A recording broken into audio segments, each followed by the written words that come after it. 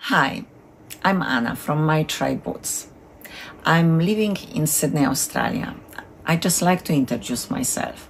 I came here from Poland 20 years ago and I absolutely loved it. My biggest passion is travel and fashion.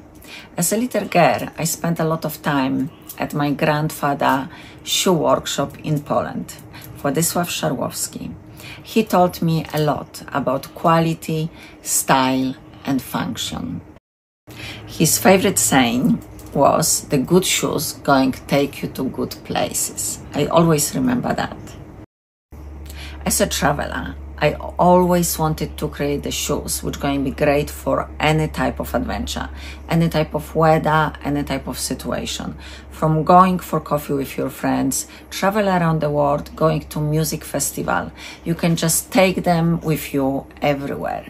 They're very light. You can roll them down, put them to your backpack, and you go see the world.